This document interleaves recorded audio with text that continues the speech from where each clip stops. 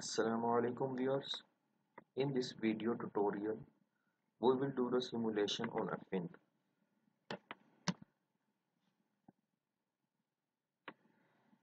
This is the example which we will solve in ANSYS steady state thermal module. This example is taken from a Yunus Cengel heat and mass transfer book. You can see the chapter number and the example number and the addition.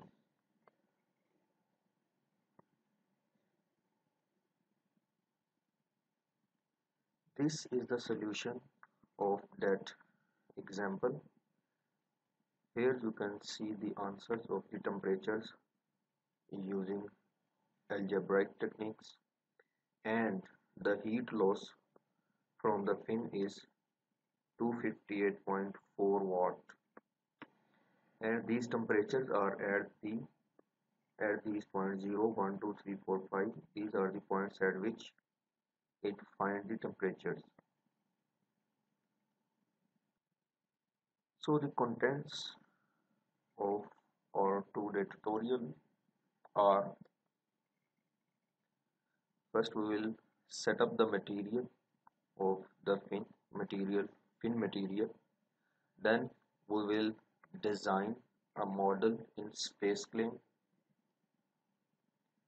At the second step, we will do meshing of fin. The third one is boundary conditions and the fourth one is the results.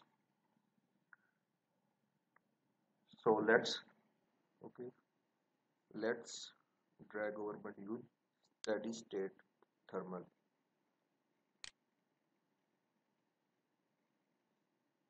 start with the first part setting the materials. Now the first thing is material.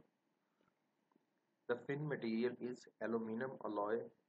So we'll double click on the material. Here is just a structural steel.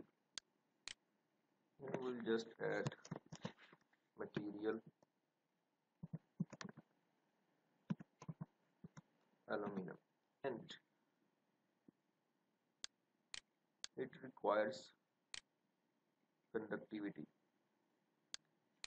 And in the given example material conductivity is 180 now the material is defined. Now we will move towards this SpaceClaim and model over fin. So after defining the material, we'll move towards geometry. Before going to the geometry side, here we have a 3D model, but I want to do a 2D model analysis, so I go to a 2D. Now our setup is 2D setup. Now I'll open SpaceClaim or a design modeler both of we can use.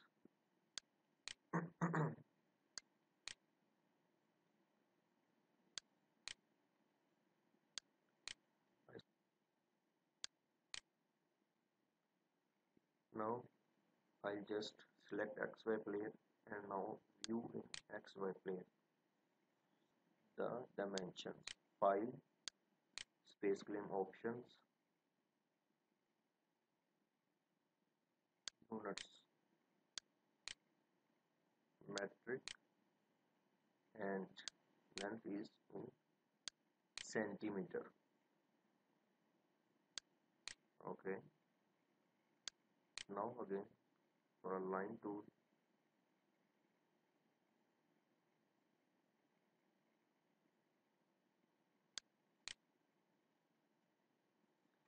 space 1 centimeter.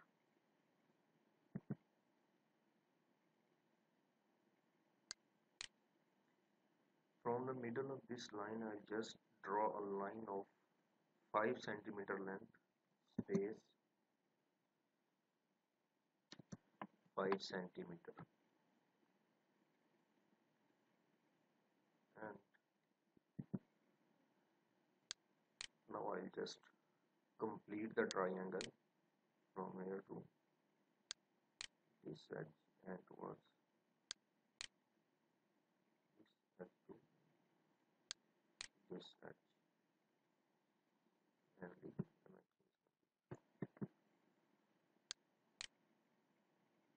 this line is extra and I am just removing it. Now it's a complete triangle with a base of 1 centimeter length and the length of this fin is 5 centimeter. Now I just select all of the sides and press fill button. Now our fin model is completed. So let's close it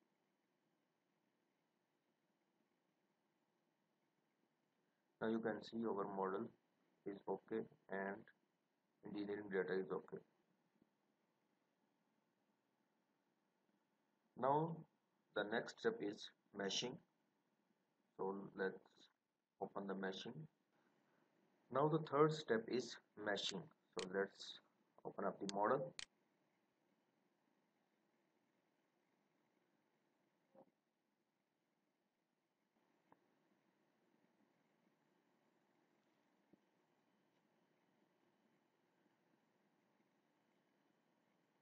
Now and ANSYS steady state thermal module is open.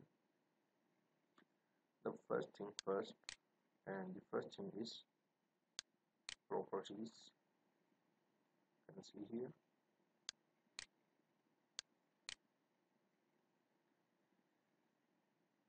Here we will change the material in the material.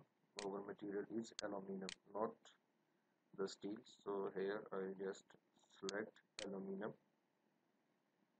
with a thickness of 1 meter. Inside thickness is 1 meter. Here we can also set the units the second thing is meshing. In the figure you can see that whole of the fin is divided in five elements. So we'll do the mesh according to that for that purpose we will just move toward sizing select this edge. Our edge tool selected. Now this edge and this edge. Apply. I can give element size or number of divisions and we will do now the number of divisions are 5 again size. This is the edge apply. Again rather than giving a size division and only one division is okay. Now we just update our mesh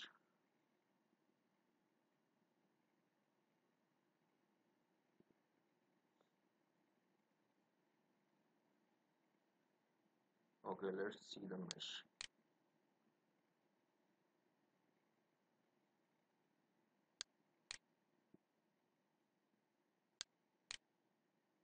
mesh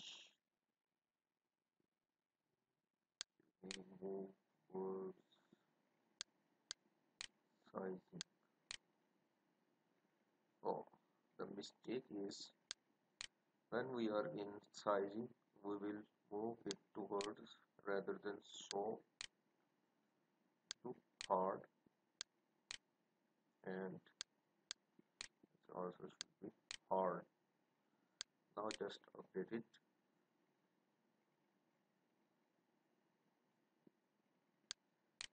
Now you can see the mesh. All of the fin is just divided into the elements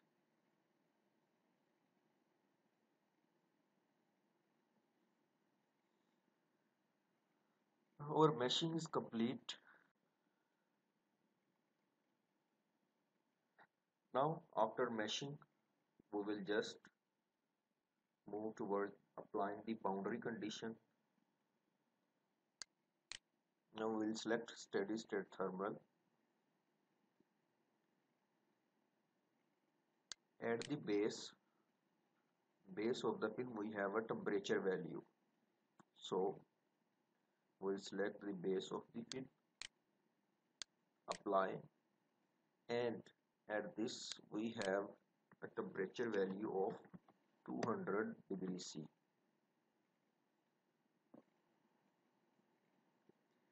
At the other two edges we have convection. So we'll select the convection this selection and control this boundary apply we have a value of film coefficient 15 and it's not millimeter it's meter. So let's move towards that. And its value is 15 and the temperature is 25 okay. So these are just the two boundary conditions. After solving our problem now we will see the results. Either we will be able to achieve the required results or not. So let's see the results. Moving towards the solution we'll just select a solution and add temperature and second thing is we need to know about the heat rejected. So we'll move towards the reaction probe. And heat is dissipated from this surface and this surface.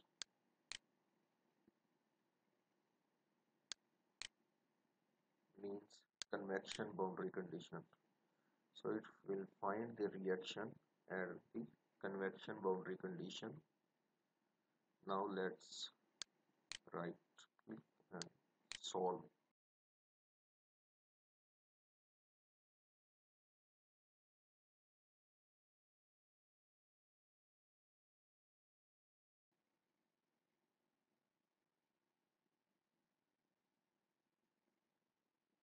now we can see our solution. Here is a temperature. We just smooth contours or contour bands. We can also remove wireframe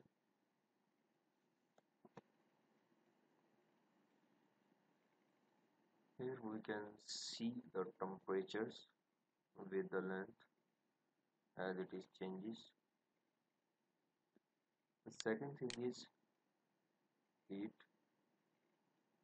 Here we can see that 258.4 watt heat dissipation from this surface. Now to see the temperatures in a more accurate and a more expressive way in a model we have another option is construction geometry in a construction geometry we will just define a path.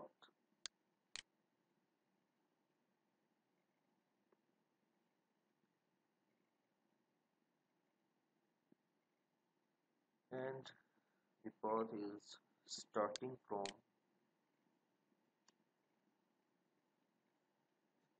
x0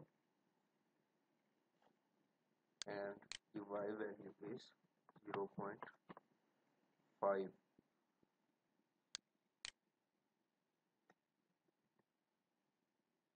5 and 0 0.5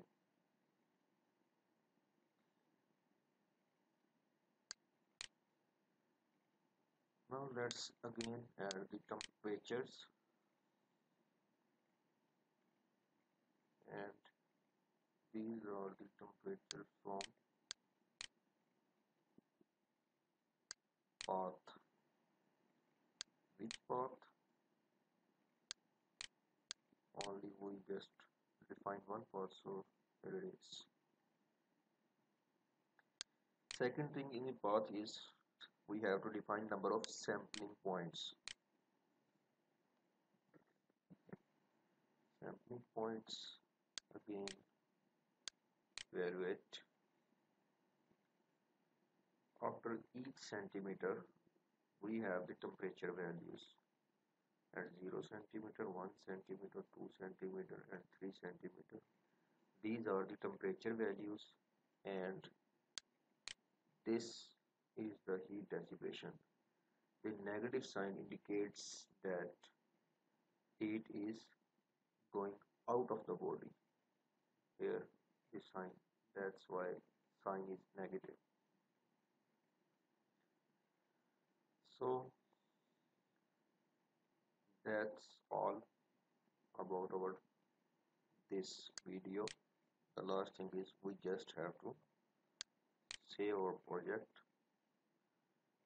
Here I'll just save the project. Thanks for watching the video